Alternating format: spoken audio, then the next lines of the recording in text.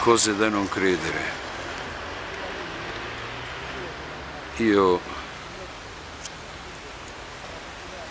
questa scalinata, ma anche le altre di Villa Torlogna,